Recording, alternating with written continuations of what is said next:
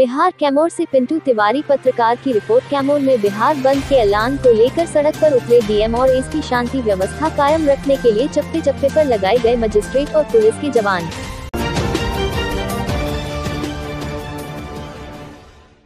कैमोर से इस वक्त की बड़ी खबर आ रही है, जहाँ बिहार बंद के ऐलान को लेकर कैमोर डीएम और एस की सड़क पर उतर गए हैं। इतना ही नहीं, ज़िले में शांति व्यवस्था बनाए रखने को लेकर सभी मुख्य प्रतिष्ठानों पर पुलिस एवं मजिस्ट्रेट की तैनाती की गई है। कैमोर डीएम एवं एसपी के नेतृत्व में ज़िले में चप्पे चप्पे पर पुलिस एवं मजिस्ट्रेट की तैनाती की गई है। वही जिलाधिकारी नवदीप शुक्ला एवं पुलिस अधीक्षक राकेश कुमार पूरे दिन ज़िले के विभिन्न प्रतिष्ठानों पर जाकर सुरक्षा व्यवस्था का जायजा लेते रहे। इसका प्रतिफल रहा कि पूरे दिन ज़िले में शांति व्यवस्था कायम रही। बता दें कि इसके ठीक एक दिन पहले पड़ोसी ज़िले रोहतास में अग्निपथ को लेकर काफ़ी बवाल मचा था, जिसके बाद शनिवार को अग्निपथ एवं अन्य दलों के द्वारा बिहार बंद का ऐलान किया गया था, जिसे लेकर कैमूर में सुरक्षा व्यवस्था के कड़े इंतज़ाम किए गए थे।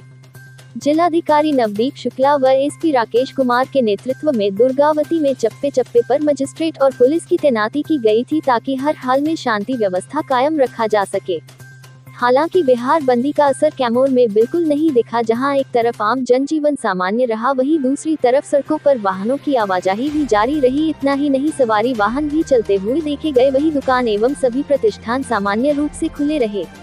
बताते चले कि सड़कों पर आम दिन की तरह लोगों की भीड़ भाड़ देखी गई। लोग खरीदारी करते दिखे। इस संबंध में जिलाधिकारी नवदीप शुक्ला ने जानकारी देते हुए बताया कि ज़िले में सभी जो महत्वपूर्ण स्थल है, उन सभी स्थल पर पुलिस प्रशासन की तैनाती की गई है ताकि शांति व्यवस्था कायम रहे और हम आशा करते हैं कि शांति व्यवस्था बनी रहेगी।